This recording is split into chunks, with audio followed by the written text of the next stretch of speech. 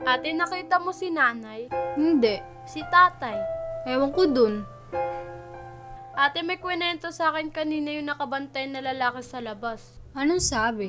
Hmm, hindi, hindi ko naalala lahat eh. Pero, sabi niya na paniginipan niya lang kagabi na napunta na lang siya bigla sa isla. Tapos, lahat doon makakain mo.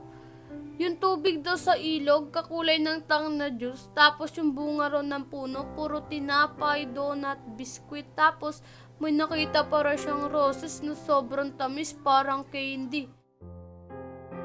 Hindi ba si Kuya Pedro yun? Yung tanod? Ay, oo. Pero mas maganda, makakapunta ka lang daw dun kapag natulog ka nang hindi kumakain.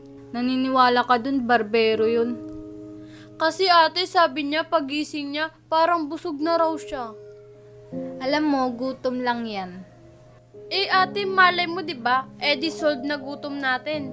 Alam mo, may tip ako sa'yo. Ang magandang gawin natin ngayon. Hoy, magsigtulog na kayo. Maaga pa tayo kukuha ng relief goods bukas.